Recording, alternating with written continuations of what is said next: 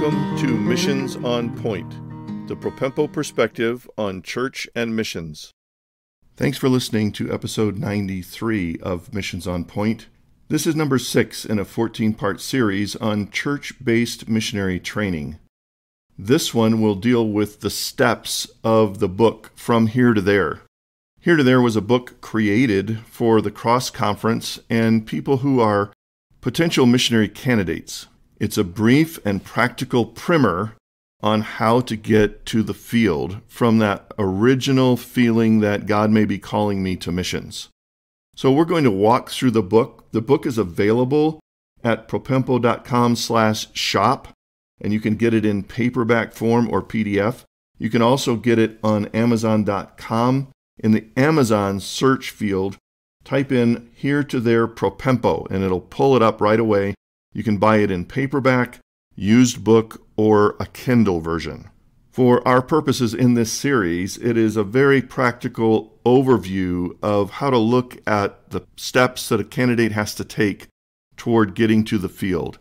It's not descriptive of the amount of time involved because the time involved could easily be years, but it is very descriptive and has helpful resources in it in each chapter for the steps that a candidate might take. Another hidden feature is the ecclesiology of the whole process.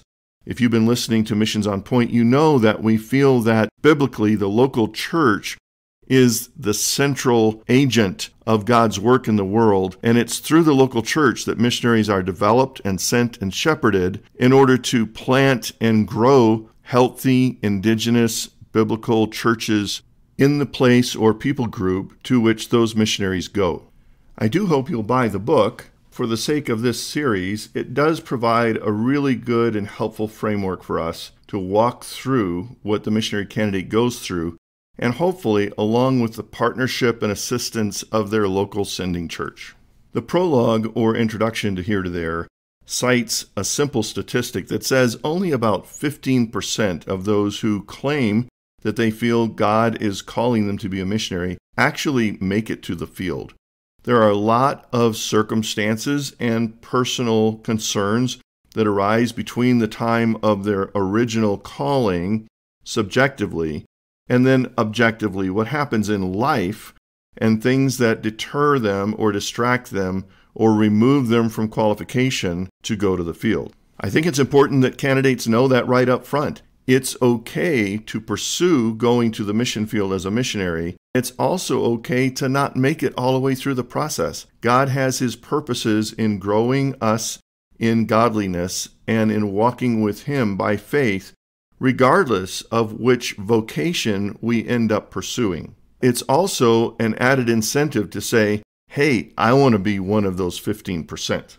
The first chapter is Get Talking, and what that means is we really think it's a good idea for the missionary candidate to begin to share with their friends, their church leaders, others who have spiritual impact in their life that they have this sense that God wants them to pursue missions.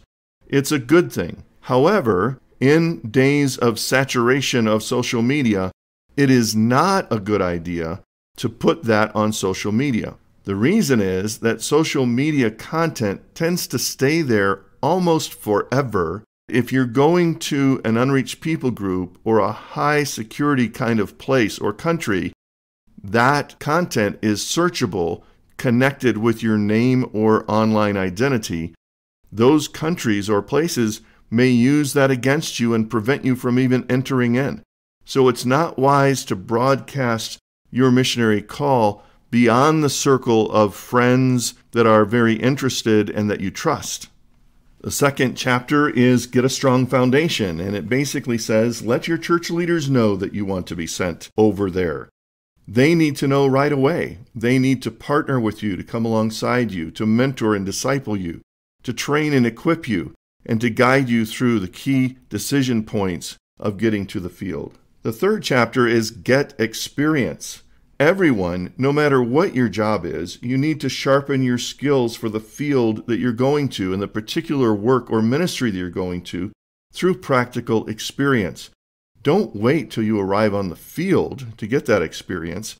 Get practical ministry skills and spiritual godliness skills here while you're in the States in a nice, warm, friendly environment. The next chapter is Get Connected. And this is a key decision point of selecting a mission agency that will partner with you in the process.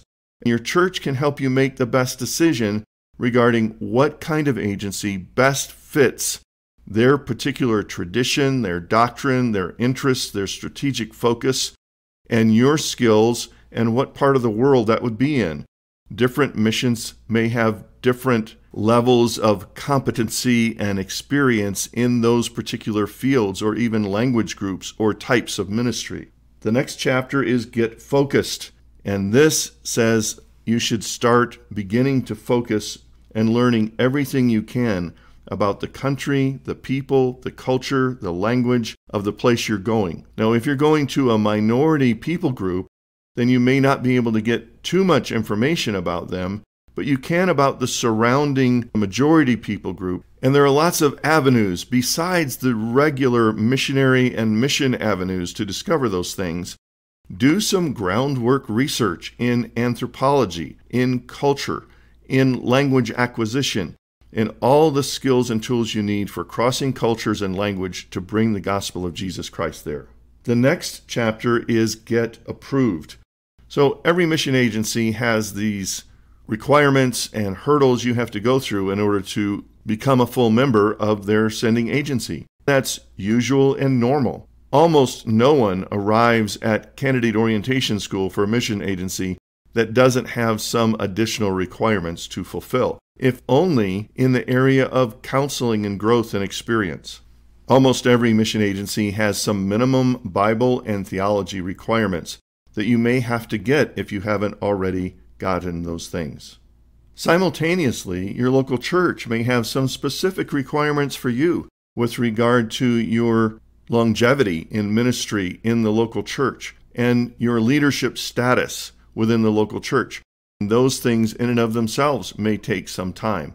Some churches that commit a very large amount of support for missionaries that arise out of their church require people to work for three to five years in their church and go through a mentorship process to prove themselves as they minister in the local church in order to be fully approved for funding. The next step is to get a support team. After you've been approved by your church and mission, one of the key things for most missionaries that are not within a denominationally supported missions role are going out under a faith supported basis. Typically, that is either as a personal support basis or a pooled support for the team or the field. In any case, the missionary is expected to use their network of friends and churches and ministries that know them in order to present their vision for ministry and give them an opportunity to partner with them financially to support their work on the field so that they can go to the field and not have to work or raise their own money in a job in order to sustain their life and ministry on the field. It also frees them up in a way so that they can dedicate more of their time to do direct ministry activities rather than vocational financial wage earning activities. This is not to say that continuing the partnership development support raising function doesn't take time even when you're on the field. It also is not eliminating the very real possibility that if you're going into a closed or limited access country, you may have to have a wage earning job proven to the government in order to sustain a visa to stay in the country and do the ministry to which you're called. Nevertheless, this building a support team is an essential part of ministry for prayer, for emotional encouragement, for spiritual nurture and shepherding, as well as the financial benefits. Note here that support raising has been in existence from the first century on. Jesus and his band of disciples were actually financially supported by others as they roamed around the land of Palestine.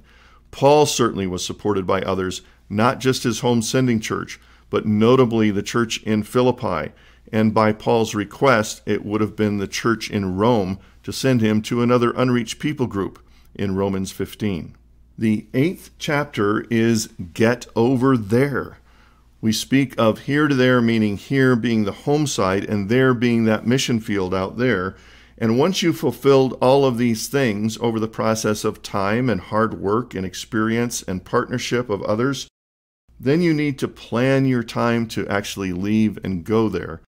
That's when the work really begins for you to really learn the language and culture and dive into that as first priority for the first years that you're on the field. But your church and you and your family and others concerned would love to have a wonderful celebration commissioning kind of service for you so that they're announcing the completion of all these requirements and the next step of you actually leaving your home and going overseas to work in the mission field. There are some suggestions in that chapter about all the possible elements you could have in a commissioning service or commissioning day to celebrate with your church this grand event. There is a post log chapter, and it refers to what if we don't make it to the field? What if we intended to go and we got halfway through, or three quarters of the way through, or almost all the way to the end of the process, and it just didn't work out? That's happened for many, for many reasons. It could be that the country is politically closed and you're just not able to go yet. But in the post log, it says, don't consider this as being a second class citizen in God's kingdom. It is still all part of God's will and in His providence that you don't go. So, what do you do with that? Don't become depressed and a recluse because you're ashamed or embarrassed. Rather, use all the good training and experiences that you've had in God's kingdom within your local church to help others in the process, to help them understand the importance of each step of the process, and to work on your missions team or your missions committee to be involved in mobilizing people for missions. That is a very important role and often neglected. If you have missions experience, even as a candidate in training, then you have something to offer to the body of Christ where you are.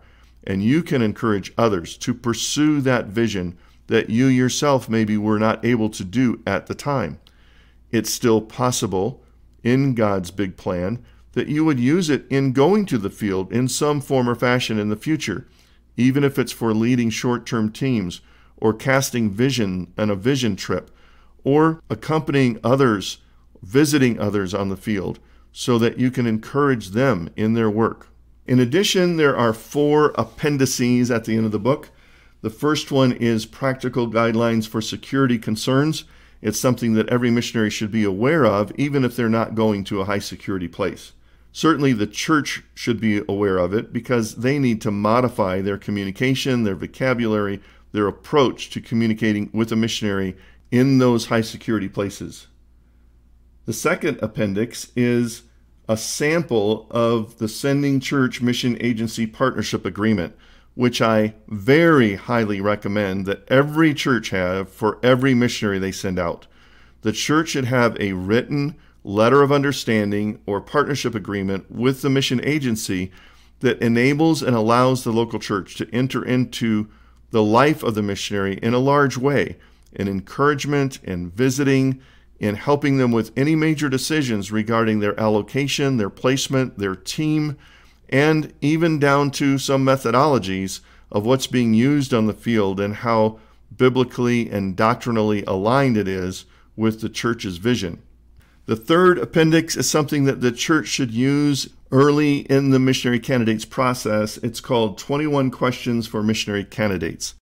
It does not include a section on finances, but it does include sections on other major areas of life it is something that should form sort of a, a guideline or a framework for personal biblical counseling of the missionary candidate as they prepare to go to the field.